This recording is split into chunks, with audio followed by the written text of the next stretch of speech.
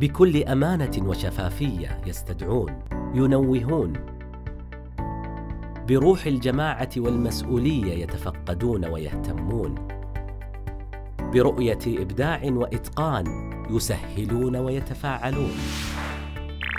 وصلت إلى الرضا الذي لا يدرك قيم أي وزارة أنت.